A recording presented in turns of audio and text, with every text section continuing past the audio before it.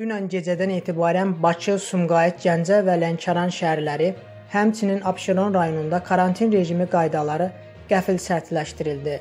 Bir çox dövlət və özəl qurumların fəaliyyətləri dayandırıldı. Hətta aptek və marketlər də 2 günlük qapadıldı. Tək-tək istisnalar olmaqla insanların çölə çıxışlarına qadağa qoyuldu. Əslində gözləmədiyimiz bir şey baş verdi. Çünki son günlər karantin rejiminin yumşaldılması yolu tutulmuşdu. Bəs nə baş verdi və niyə rejim sərtləşdirildi? Bu rejim nə vaxta qədər davam edəcək?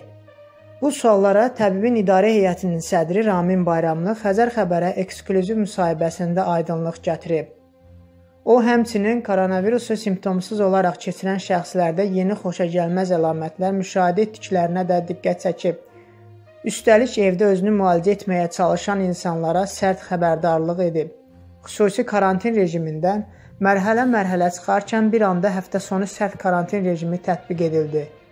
Təbibin idarə heyətinin sədri Ramin Bayramlı müsahibəsində karantin rejiminin qəfil sərtləşdirilməsinin səbəblərini açıqladı.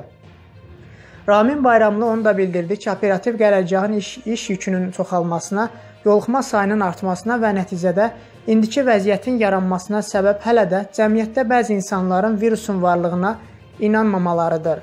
Təbibin rəhbəri onu da qeyd etdi ki, həftə sonu tətbiq edilən sərt karantin qaydalarına təsadüfi gedilməyi və bunun dünyada tətbiq edilərək nəticə əldə olunan çoxsaylı elmi əsasları var.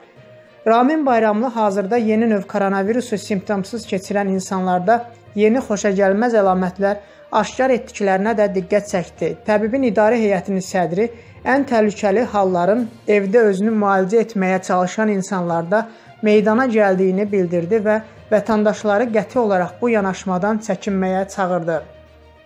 Təbib sədri onu da qeyd etdi ki, Nazirlər Kabineti yanında operativ qərargah istənilən qərarı verməzdən öncə bütün təkliflər geniş şəkildə müzakirə olunur. Qərarlar isə həmişə insanlara minimal mənfi təsir edəcək şəkildə qəbul edilir. Həftə sonları sərt karantin qaydalarının tətbiqinin nə vaxt ləğv ediləcəyi isə vətəndaşların sanitar gigiyena təlimatlarına düzgün əməl etmələrindən asılı olacaq. Mənbə Baku WS saytından.